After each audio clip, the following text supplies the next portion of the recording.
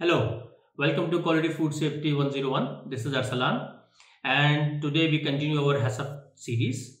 Today we will talk about the critical limits which is principle number 3 and step number 8 in our HACCP journey.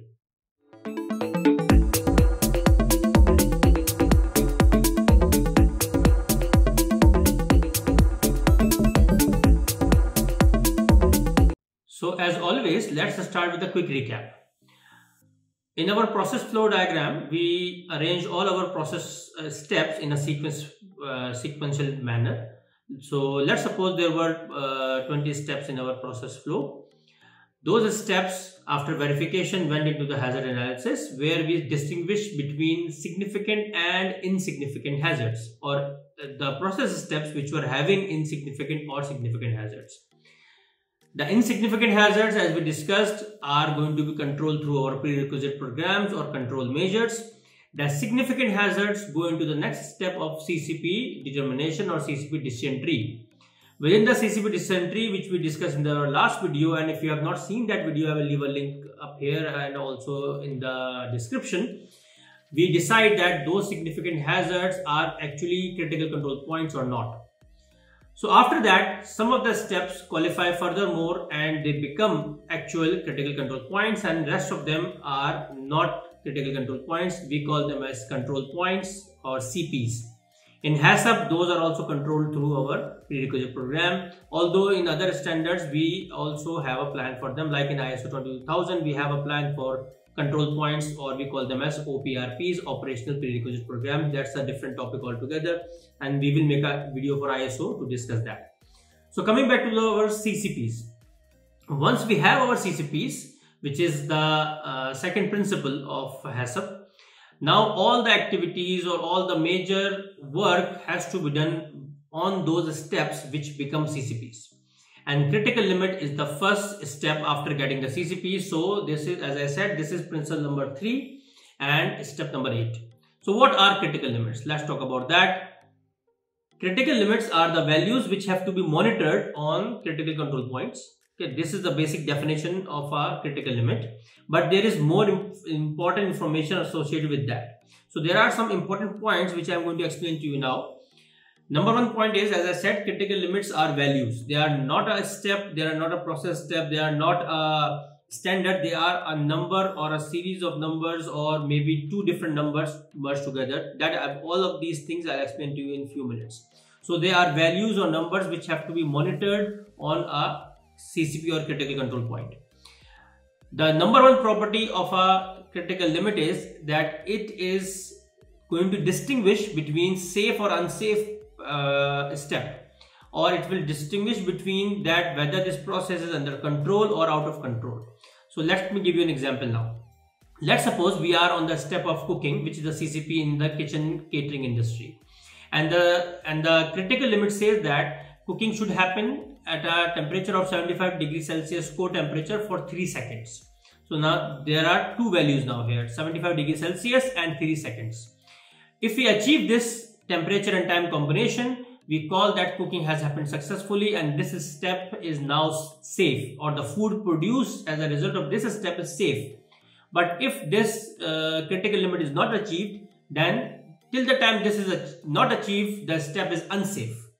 So this is how i meant that critical limits distinguish between safe and unsafe practices or safe and unsafe steps. This brings me to the second uh, property of the critical limit the second property is that this is always a single value. It can be uh, expressed as a minimum or a maximum of a value, but never, it will be never a range. For example, I cannot say that my cooking temperature should be between 70 to 75. No, it has to be a single value. I can say that it has to be minimum 75 so it means that above 75 everything is good or okay but less than 75 is not good. So this is a good or acceptable expression of a critical limit but i cannot say a range. Or another example can be that uh, the chiller temperature for my ccp should be between 5 till 12 so this is a range. That's not acceptable because then how do you know where, when you deviate from a, a, critical limit. So in that regards, critical limit can never be a range. It has to be a single value. So in the case of a chiller or a refrigerator for a CCP, we say let's suppose 5 degrees Celsius or less than 5 is acceptable above 5 is not acceptable so 5 is the uh, critical limit now here comes the third property sometimes critical limits can be a combination of two numbers or two values for example as i explained just few minutes before that 75 degrees celsius as the temperature and time was 3 seconds so this is a combination of two values two units but they are two individual different units none of them is a range and both of them combined together to give me a safe step or a safe control process. So in some cases this is also very valid that there are two values which work together but those both of them are individual and none of them are range.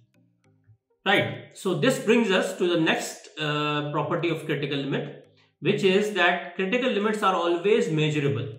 It cannot be that we assign a critical limit to a CCP which is immeasurable or we don't have the capability to measure it or maybe it is too vague to measure.